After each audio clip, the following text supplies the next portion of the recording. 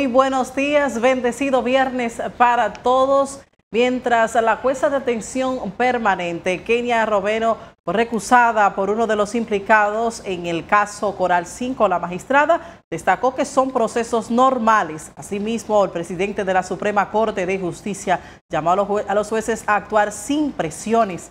La presidenta de los juzgados de instrucción del Distrito Nacional destacó ser garante de una tutela judicial efectiva y de no sentir presión a la hora de tomar una decisión.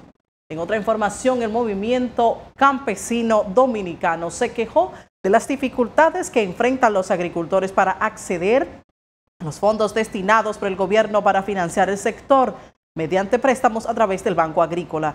Indicó que el Banco Agrícola ahora maneja requisitos similares a los de la banca privada y les exigen una cantidad de documentos que no poseen la mayoría de los trabajadores del campo. En otra información, estables y con tendencia a la baja en comparación con meses anteriores, están los precios de los rubros agrícolas en mercados de la capital, principalmente los que más se consumen en Navidad. Sin embargo, las carnes siguen encarriladas al aumento, también los plátanos y las papas. También las frutas navideñas están más caras que en años anteriores. En otra información, intiman a la esposa del ex procurador de la República tras denunciar que los implicados en el caso Larva ponían en peligro la vida del exfuncionario. Nicky Minaya, abogado de Ramón Eduardo Pina Reyes, intimó a María Isabel Pérez para que se retracte de los señalamientos denunciados en el programa radial, ya que esa denuncia provocó, según él, daños psicológicos y a su salud.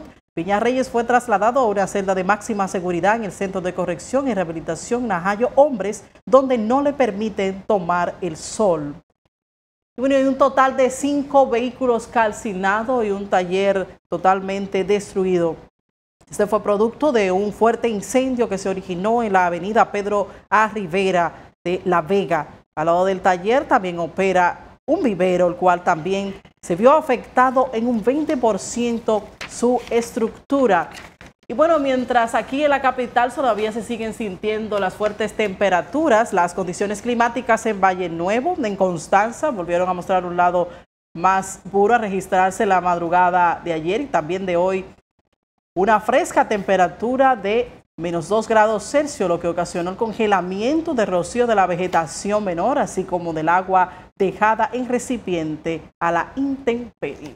Con esa información finalizamos. Les deseo un feliz resto del fin de semana. Nos vamos a una pausa, pero tenemos mucho más.